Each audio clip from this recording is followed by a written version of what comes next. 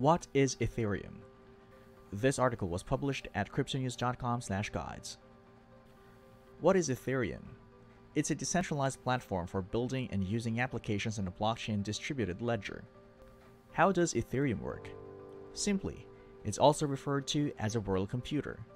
Since the Ethereum platform uses the computing power of the computers connected to its network, the information is stored on each computer or node, meaning it's decentralized and controlled by no one, unlike a traditional database. There's no limit on the number of such computers that can connect to the network.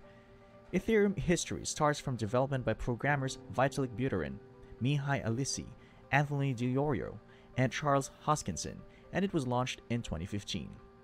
The project was financed by issuing its own cryptocurrency, Ether.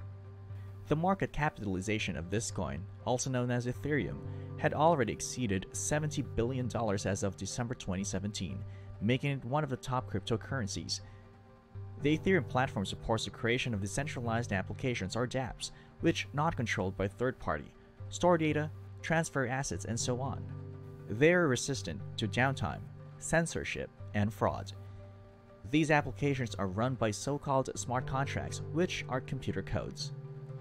Basic facts that you should know about Ethereum are, for example, that it is often used for initial coin offering projects, since it's helpful for creating one's own cryptocurrency to sell and kickstart a project. Other applications already built on Ethereum include systems for voting, real estate crowdfunding, lotteries, gaming, social networking, lending, money transfers, and more. Future projects may address the Internet of Things, prediction markets, the energy transfer business, and so on.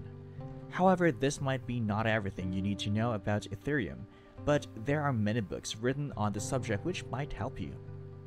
The technology is still young, with constant new developments and improvements. Meanwhile, other platforms like NEM have entered the same field and offer their own solutions for building applications on their blockchains. In March 2017, the Enterprise Ethereum Alliance was established.